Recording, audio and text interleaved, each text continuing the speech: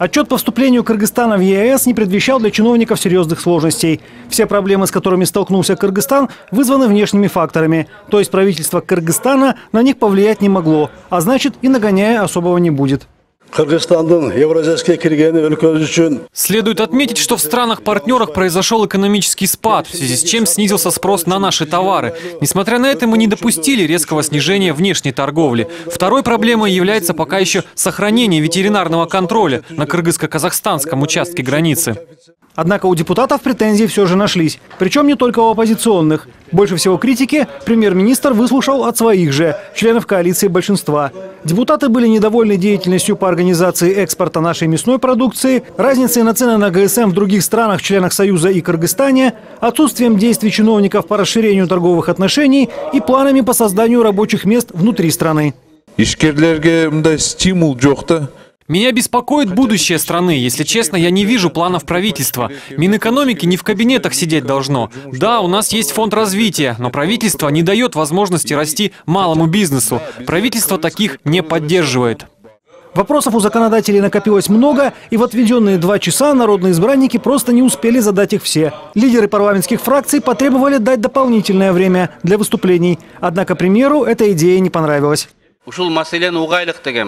Мы должны продлить заседание. Только 10 человек успели задать вопросы. Давайте продолжим после 14.00. Дайте нам время как лидерам фракций, чтобы задать свои вопросы.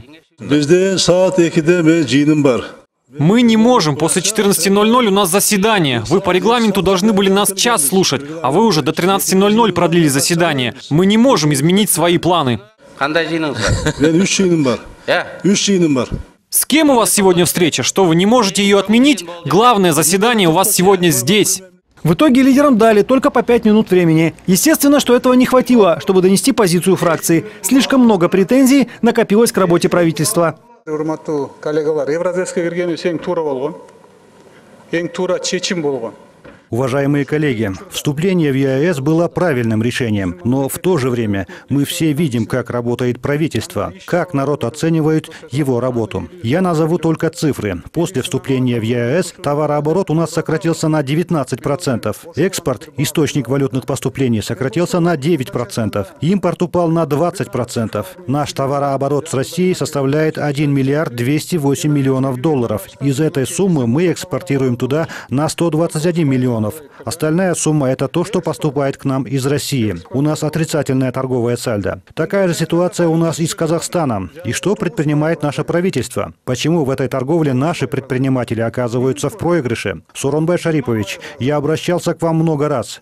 К сожалению, вы и члены вашего правительства не принимают решения. Я приведу вам пример. Россия выделила на сельское хозяйство 220 миллиардов рублей субсидий и грантов. 80% на мясо, 100% на племенное хозяйство. В некоторых случаях 50% затрат они компенсируют. И как мы собираемся конкурировать с ними в сельском хозяйстве? Наше правительство дает 10% субсидии, а мы предлагали законопроект о 7% сельхозкредитах. Правительство думает уже целый год, не отвечает нам. В Казахстане там дают своим аграриям 15% скидки на горюче-смазочные материалы. Дают кредиты под 6%.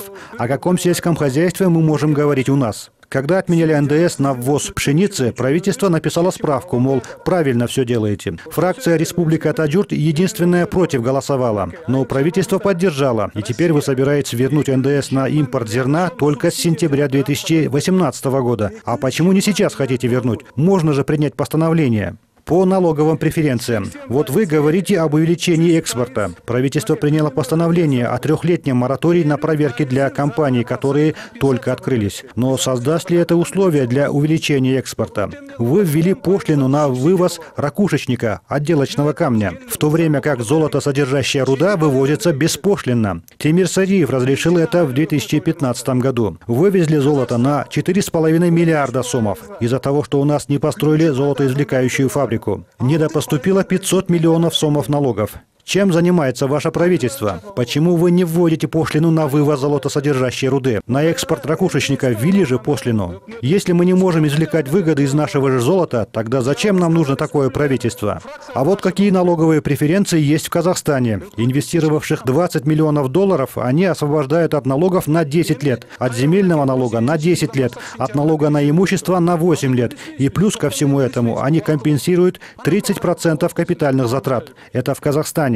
Мы предлагаем тех, кто открыл новое производство в регионах, кроме Бишкека и Аша, освободить от налогов на 5 лет. Разве это плохо? А вы уже целый год не отвечаете нам, не даете справку. Договорить Амурбеку Бабанову спикер не дал. Тарага настолько старался оградить премьер-министра и его команду от неудобных вопросов, что перешел на личности и явные оскорбления.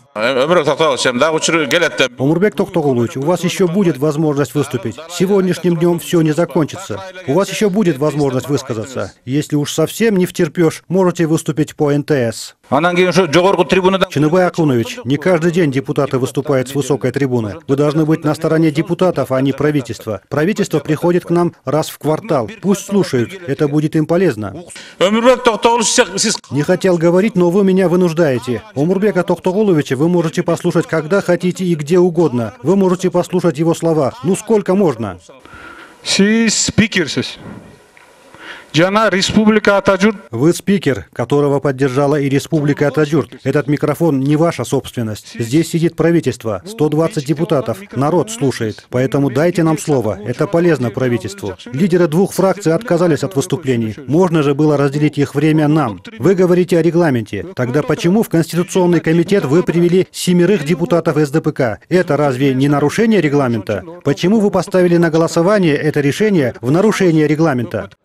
Парламентские оппозиционеры заявили, что уже завтра дальнейшая судьба правительства станет темой заседания фракции Республика Таджурт. Депутаты обещают, что к чиновникам у них будет немало неудобных вопросов, ответы на которые и определят позицию оппонентов коалиции большинства.